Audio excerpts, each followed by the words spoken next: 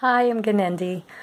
Um, child sexual abuse and incest are a universal issue that affect all of us.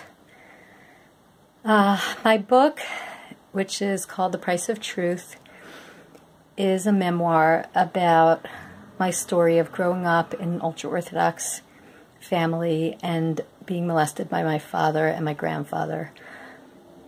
It's not an easy story, it's not an easy topic, but it's an important one, and it's one that we all need to address in order to change and to heal as individuals, as families, and as a community. Um, I actually um, began talking about what happened to me when I was about 18, 19 years old, about 25 years ago. And I was told by my family, by my mother, by my community, and by the rabbis in my community that nothing happened, that I wasn't abused, and that I was crazy.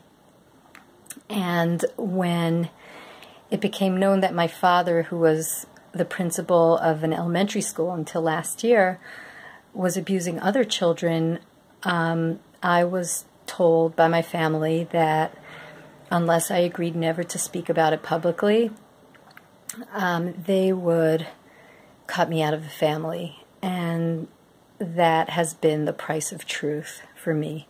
I've lost my entire family. My mother has never met my children, one of who's almost 18. My um, my siblings did not invite me to their weddings.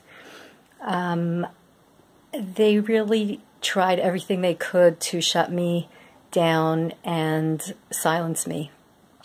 And I refused to participate. I said, not only am I not going to be quiet, I'm going to publish a book.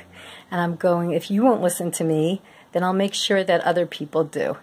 And that's exactly what I did. And um, thank God, through a lot of prayer, a lot of good therapy, a, lot, a, a wonderful husband and support system, I've been able to not only heal um, from my experiences, but I've been able to help um, other women and men who have been through childhood sexual abuse.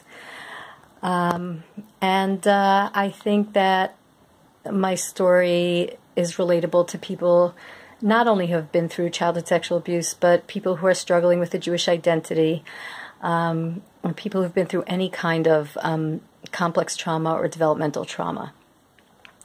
Thank you for listening, and I hope to meet you, and I hope you'll read my book.